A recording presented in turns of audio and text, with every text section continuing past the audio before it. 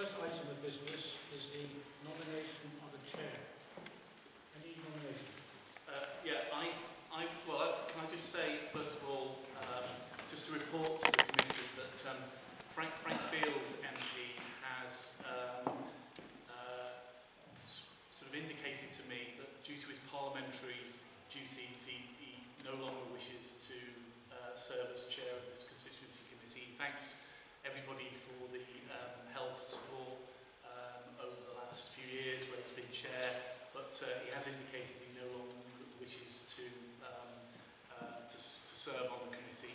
So in, i- i- in, as a result of that, I'd like to nominate um, Councillor George Davies as, as chair of the constituency committee for the forthcoming municipal year. Any seconders? Yeah, second. Can we vote on that? All those in favour? Any against? That's carried. Thank you very much indeed. George, George, just for your, with your indulgence, can I suggest that, that you, as the new chair, write to Frank thanking him for his... Uh, yeah, okay. I will, I will. Uh, The next point uh, then is uh, appointment of a vice chair. Um, Do I have a nomination? Yeah, I, can I move Councillor Moira McLaughlin? And can we show of hands? Thoughts on that? That's unanimous. Thank you, Moira.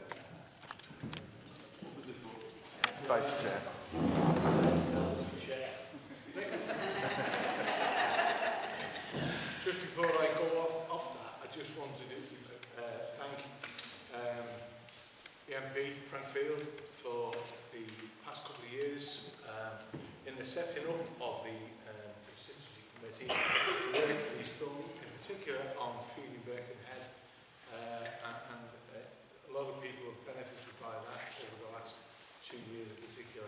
So I, I want to publicly thank him uh, for all the work that he does, and I'm sure he will keep on doing for this constituency, uh, one that he loves. Um, so um, I'll record that, and I will send a letter, Phil, to, to Frank on behalf of the committee for the extreme work that he has done over this last couple of years. Thank you. Um, apologies for absence. I think we take one as. Tony Aubrey, Tommy and Councillor Paul Doughty. pulled out. Julie McManus.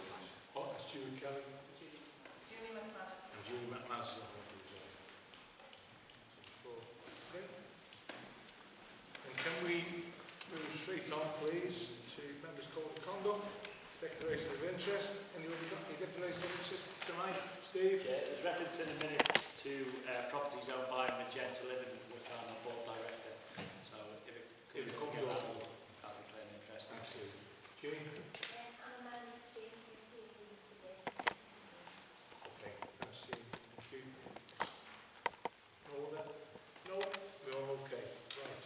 Um, minutes, um, pages 1 to 13, which have all been circulated. Would someone like to move first or that they are a true record? Can I just, um, hold Yes. my intent and add it to the minutes, please? Yeah. Or was it? You were. Okay. Right. Yeah. So would someone like to move them as true So- record? so moved. Thank you, Phil. Seconded? Thank you. Any arising from those, please?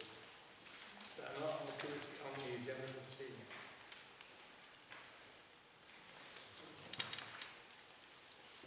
No? Okay.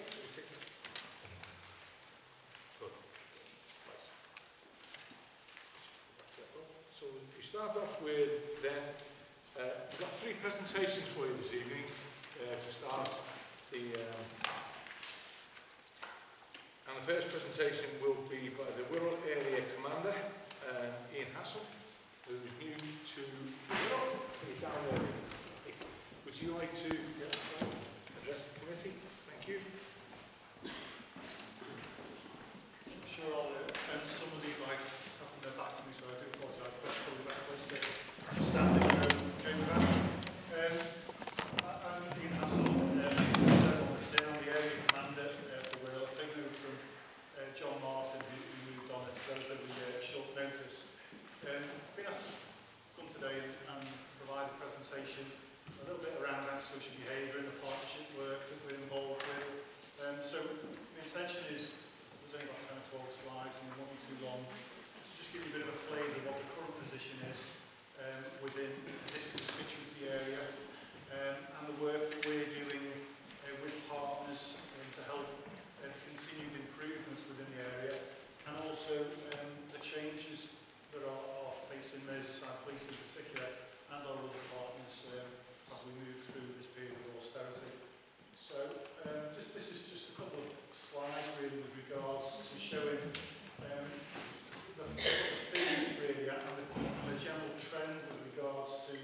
antisocial behaviour and uh, across the piece there is a downward trend uh, around antisocial behaviour but that's notwithstanding that obviously um, people particularly with repeat victims obviously um, can have a s- you know, significant impact on individuals' lives and obviously in relation to the seven beats area within the constituency it just shows the proportion in relation to the, to the uh, total uh, number of reported crimes there but as you can see in both areas there is a, a downward trend in the actual uh, amount of antisocial behaviour reported to the police.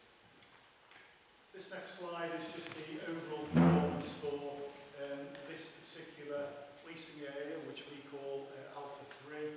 Um, when you look at that, obviously, you, know, it raises questions, what's, what's going on, but it is very seasonal antisocial behaviour, and the peaks are obviously as we head towards the, the summer periods. Um, and actually, if you take a positive from this slide in particular, you can see in, um, in June there, it's actually plateaued within this, this, in, in this area. It's not as significant as it has been um, in the previous uh, 12 months. Overlaying it with crime, again, it's a similar, it's a similar picture really. And what we've, we've seen with regards to um, our crime in particular, like any organisation, you know, we're of scrutiny and Her Majesty's Inspector of Constabulary come in and they look at the way we record crime and deal with crime and um, th- this is um, the same for all the forces in, England and Wales.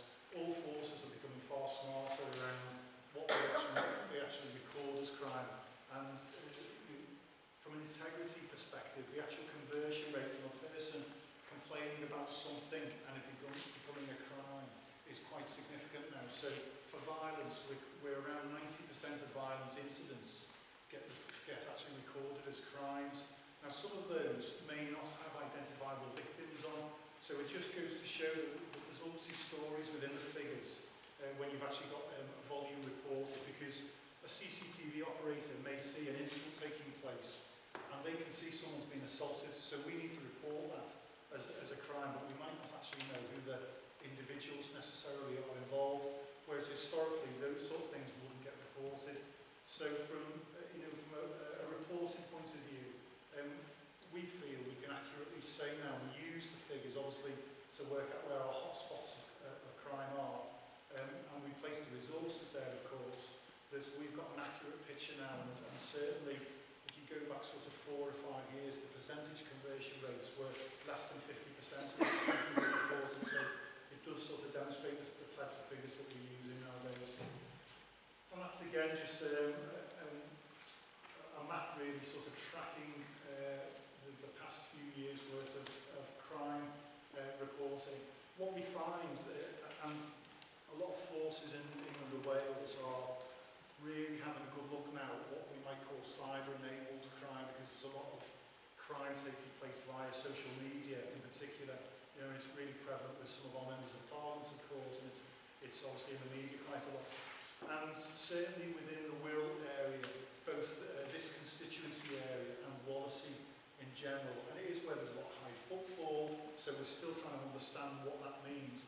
But we do get a lot of um, crimes and incidents reported which are via Facebook, via a variety of social media platforms, and they form the greatest proportion of, of, of our violence uh, reported crimes. So a lot of them are, are um, using language which is causing harassment, alarm, distress to people, and they're recorded within our violence figures. So it's not, I mean, obviously for a victim of, of that, you know, particularly if for some reason they don't know who the, per, the, the perpetrator is, that, that could be significant. But some, somewhere in the region of 80% of our violence crimes are the victim knows the perpetrator. So um, it's just a little bit of context really on, on the figures. So what, what are we doing uh, locally as the police? Well, obviously, um, we're working very closely with uh, the local authority and looking at how we target antisocial behaviour. Um, as I said, there's a lot of work going on with regards to the actual uh, mapping of what we term volume crime. So your sort of shoplifting type offences, your vehicle crime type offences. Um, and obviously we're looking at, at organised crime. So there's a lot of work goes on with our partners, you know, and it, and it affects all areas of the country, including the Wirral. We've obviously got a significant uh, port there at Twelve Quays, uh, you know, and so we regularly run operations around human trafficking. We regularly run operations around the likes of fast food establishments and, and those types of premises um, to see whether or not we've got um, people here who, who shouldn't be here in the country or who are victims of trafficking into the country and now uh, working obviously for um, scrupulous paymasters, you know, at reduced rates. So we- we're very much involved in that quite regularly. We- We're involved uh, with the co we've co-located already the, the on Social Behaviour team at Wallasey Police Station and we see this as a great opportunity with the change in the legislation around antisocial behaviour. There's a lot of work going on around uh, closure notices, closure orders, around targeting particular houses within particular areas and you know, we can cite a number of examples within this constituency. But we've got to be smart about it as well because that is obviously a robust enforcement approach and invariably if we close a particular property it, it may displace the problem to somewhere else. It's a short-term measure, but it might be the short-term measure that's required to get all the agencies in obviously look at how we can make improve the quality of life for, for uh, people who are suffering antisocial behaviour in particular or other types of criminality in the area. We've brought um, a detective constable over to work with our priority team who's come from uh, a partnership unit over at headquarters and they've got really good links in with the likes of um, revenue and customs, um, trading standards, a, a variety of agencies so that we can information share effectively um, but we can also work with them because sometimes we might not have the powers to get through the door because we, we have to stand in front of a magistrate and obviously get warrants sworn out but actually the fire service can go and check on fire regulations you know there's a lot of different agencies that have a lot of different powers that as long as we work together, we can obviously pool our, our and that's really working well. And obviously, there's a number of particular agencies we've worked, and you'll see operations running outside the tunnels, you'll see operations uh, around particular properties in particular beat areas. You know, the way um, when we're working around sort of the safer neighbourhoods and that sort of development, this is just an ongoing extension of that work and regularly goes on within a seven beat area. So here's just a couple of examples, and what I would say about problem solving and, and some of the issues that are raised. Um, you, cannot always say you're going to eradicate a problem. You know, these, some of these are really long-term uh, approaches, of which uh, you know, the police and other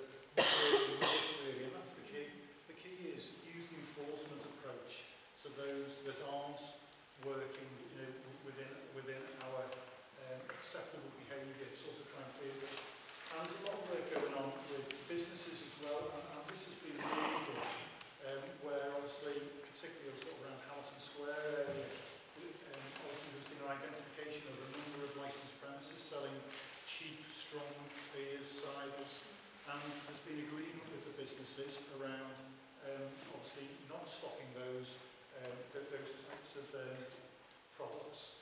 Um, but what's really good that's come out of it is a lot of information sharing and you know, the actual just getting through the door and speaking to the businesses. You know, because they, they know what's going on within their own business environment and, and uh, we're very much getting good bits of intelligence to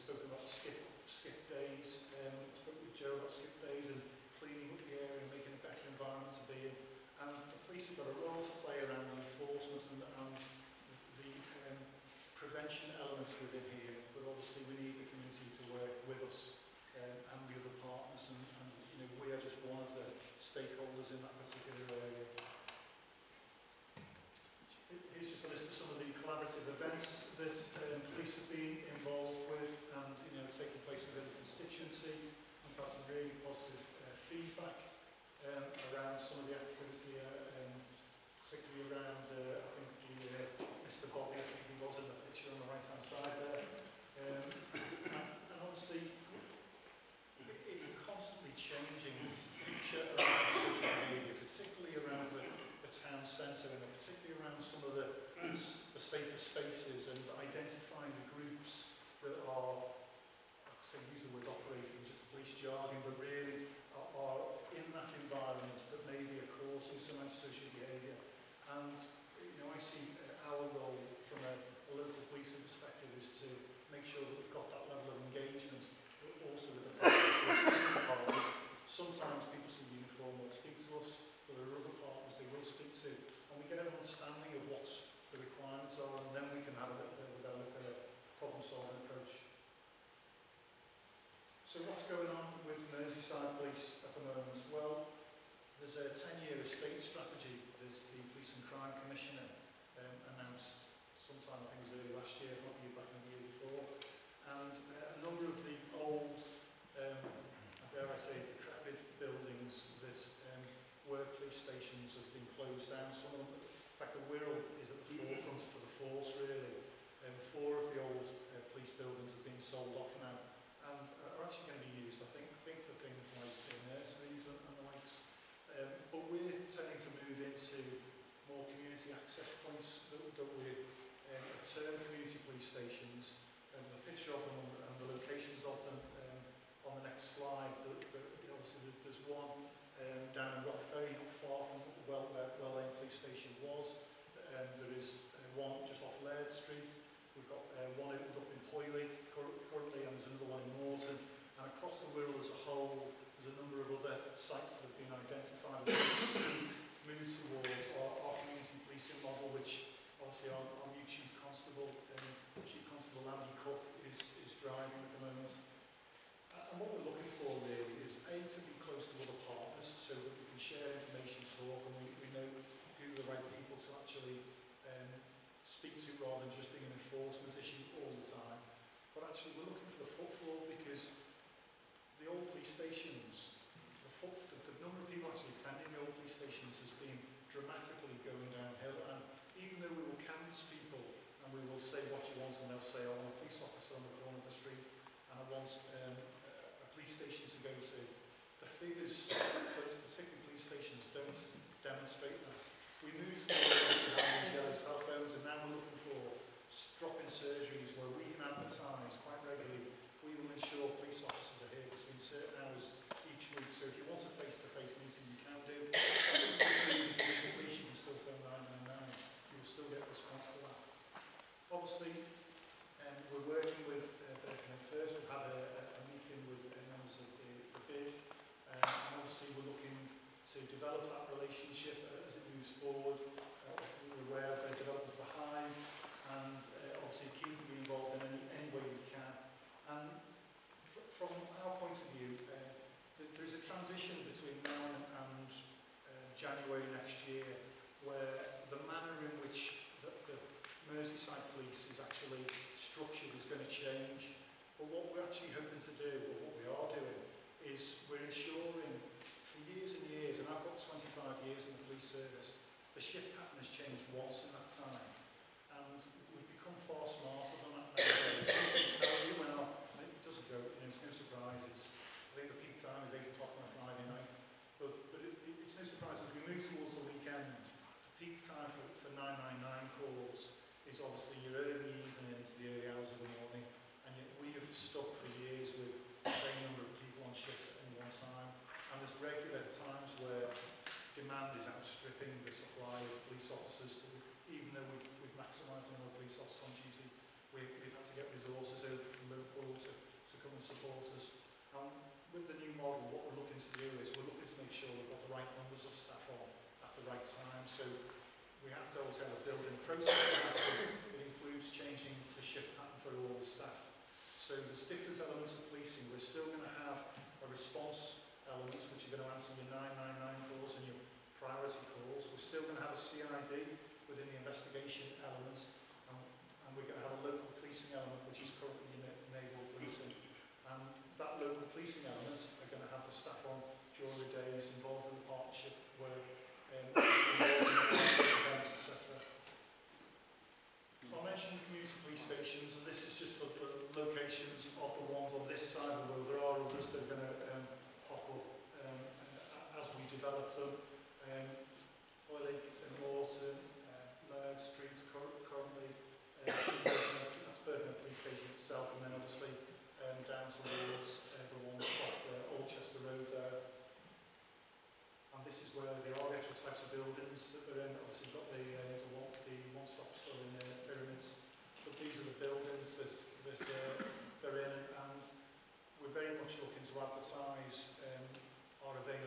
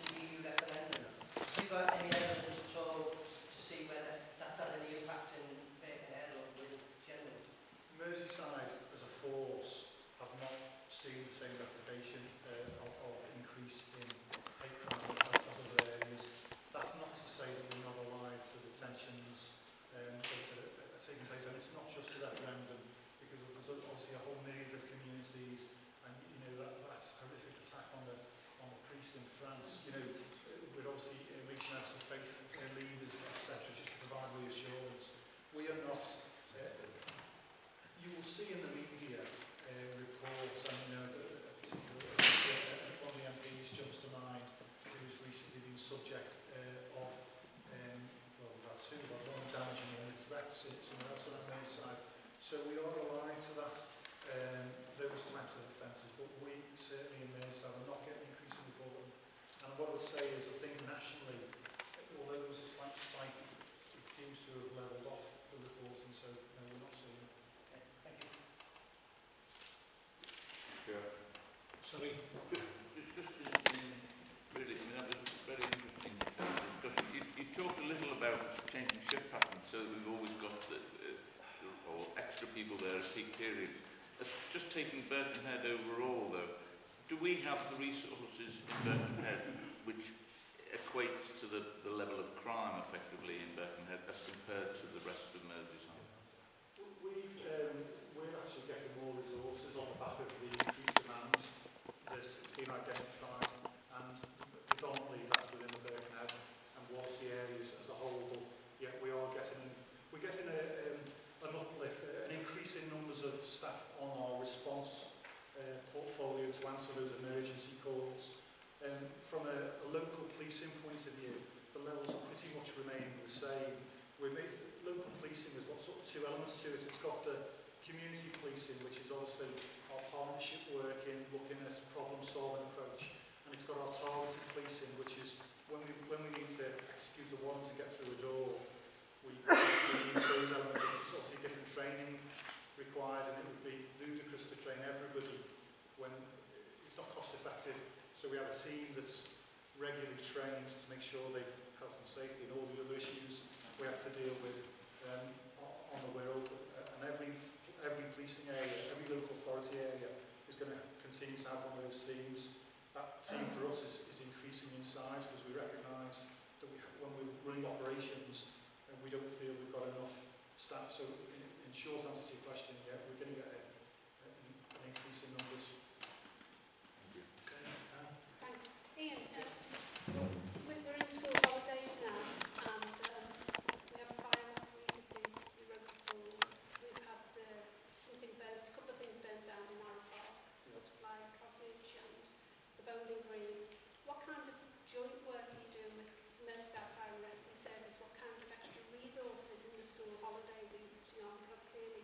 it's only the start of it, we're only just in the first week.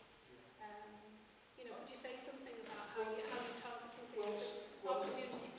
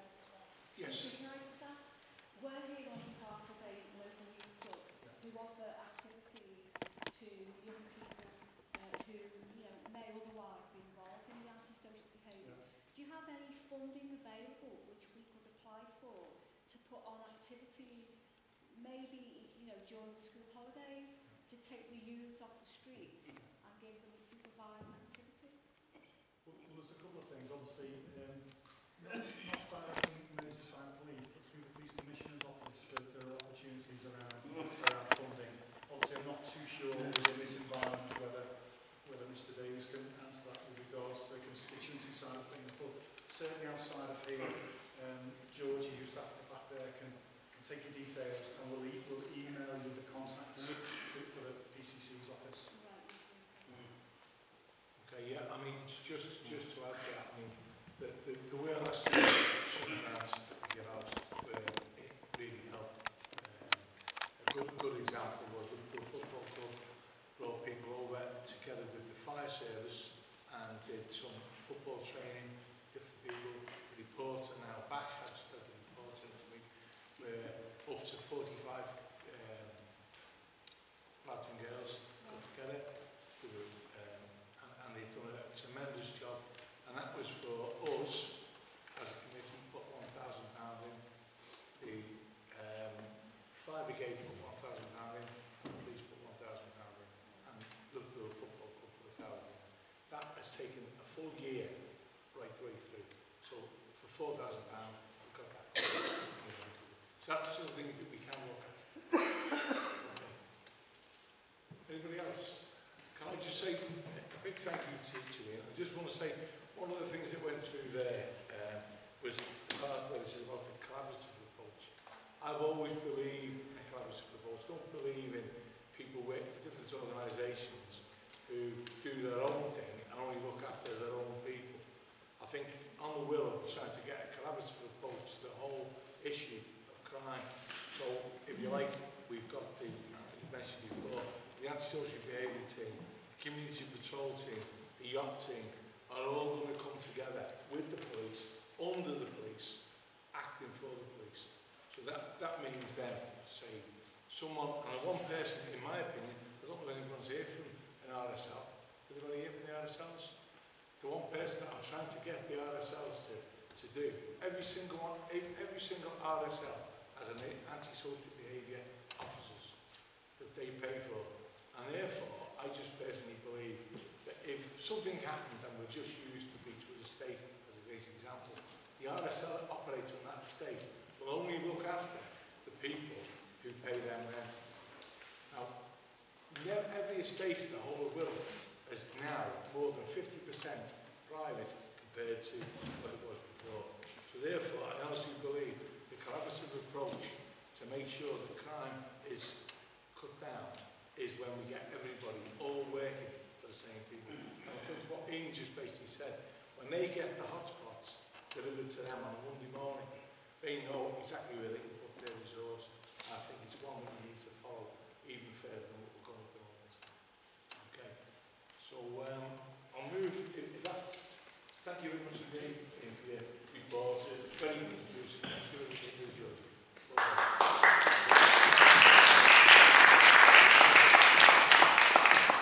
The next presentation will be um, Birkenhead Business Improvements at uh, by Kevin Cavati.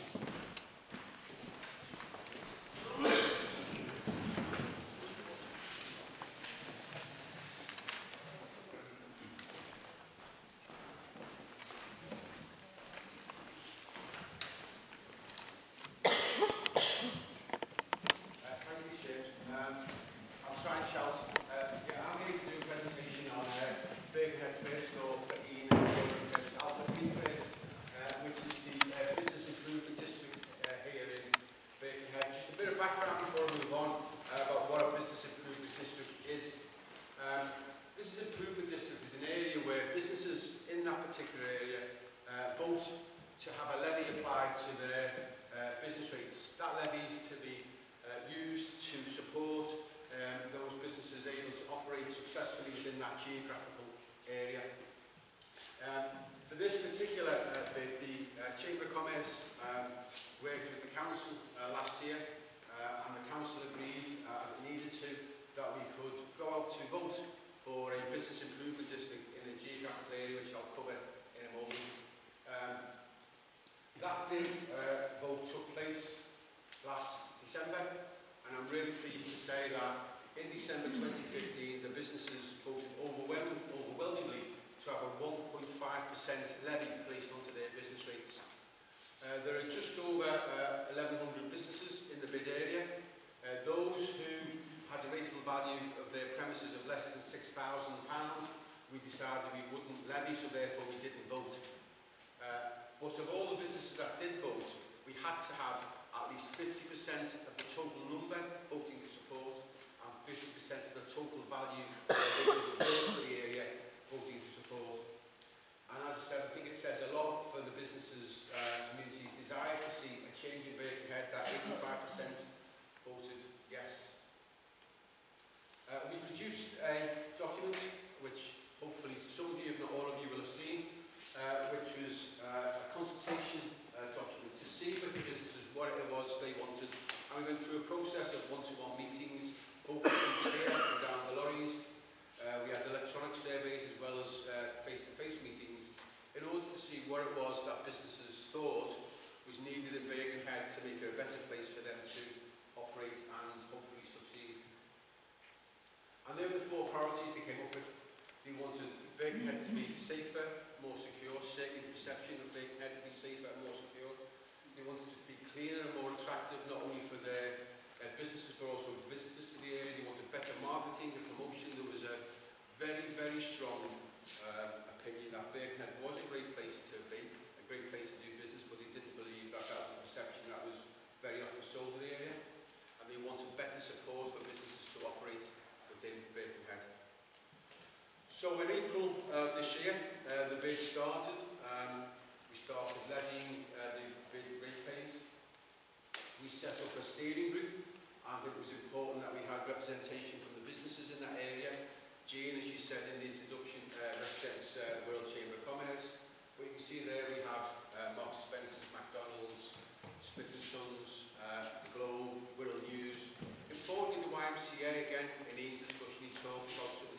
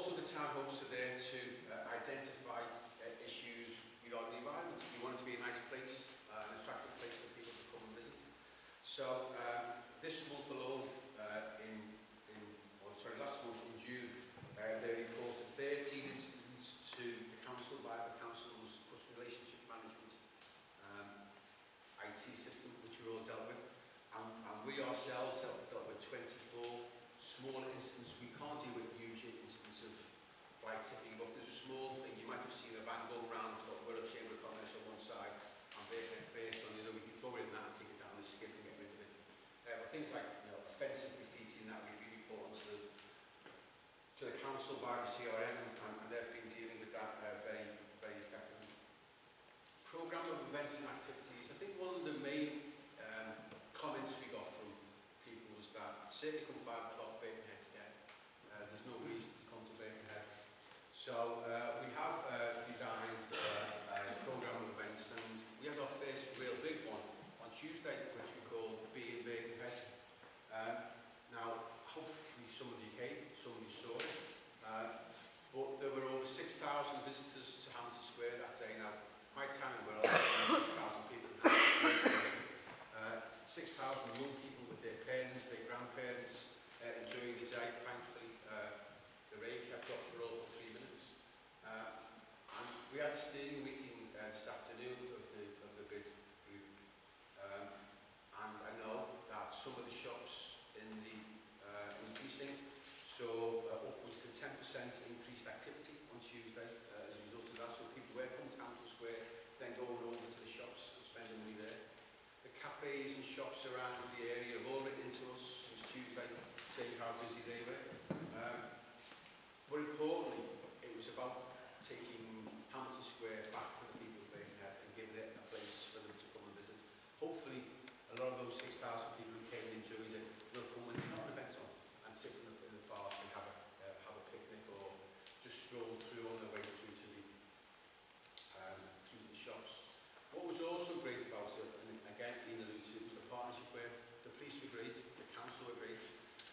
Mersey Rail gave free travel to anybody coming, so if they showed that they were coming to the Beer Mersey Head Festival, no matter where they were coming from, they got a free rail pass for up to five people.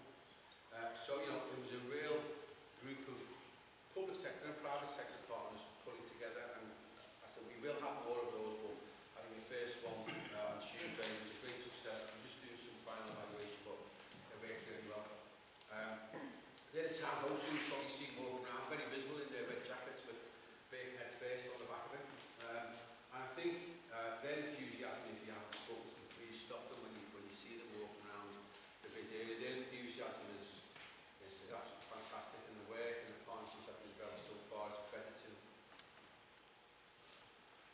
so what are we doing? In this document, uh, we say, if we had a yes vote, we'd have 400